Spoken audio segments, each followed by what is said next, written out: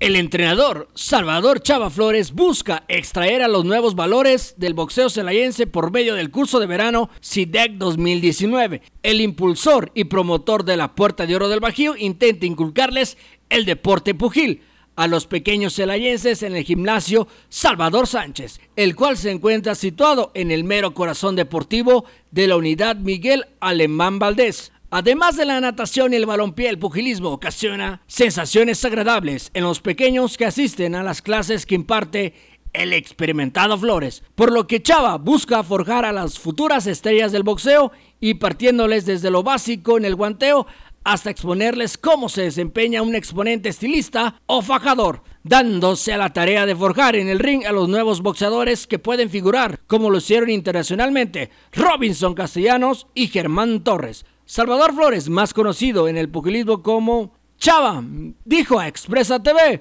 que los chicos quieren ponerse los guantes y de ahí en adelante puede generarse ese romance que nunca tiene extinción. Este gimnasio direct Salvador Sánchez, pues que tú sabes que ha, retribuido mucho al box aquí a Celaya, eh, a, nivel nacional y pues ya a nivel internacional también por ahí tuvimos un campeonato. Entonces, ahorita con, con este trabajo que estamos haciendo con los niños, pues yo creo que la verdad este, no estaba enfocado, hay que ser honestos, para que los chavitos pelearan.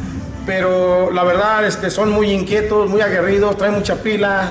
Desde que entraron están ahora sí que a duro y duro los, los chavitos con que se quieren subir manifestó que los niños que se subieron al cuadrilátero antes tuvieron que hablar con las personas correspondientes. Fuimos con la proporción este, de vida y pues bueno, cuidándolo, ¿no? Dándoles un minuto, 30 segundos, máximo dos minutos. Entonces yo creo que en términos generales, pues yo creo que es de mucha aceptación para todos los niños, como tú pudiste verlo ahorita.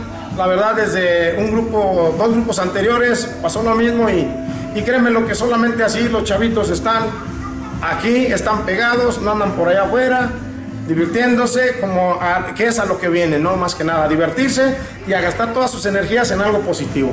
Informó para Expresa TV Diego Martini.